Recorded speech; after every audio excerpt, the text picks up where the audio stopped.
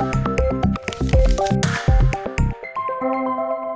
O deputado Bruno Souza, do Partido Novo, defendeu na tribuna da Assembleia Legislativa a derrubada do veto governamental ao projeto que previa a redução de ICMS cobrado na venda de alimentos e bebidas.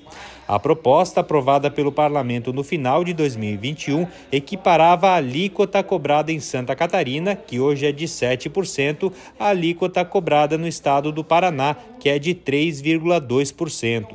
Bruno Souza destacou que a redução do imposto é uma demanda do setor que foi fortemente afetado pela pandemia e fez um apelo aos demais deputados para que votem pela derrubada do veto. Quando o Estado veta um projeto que reduz impostos, o que ele está dizendo na prática é: eu quero mais dinheiro de você, catarinense, eu quero colocar a mão no seu bolso.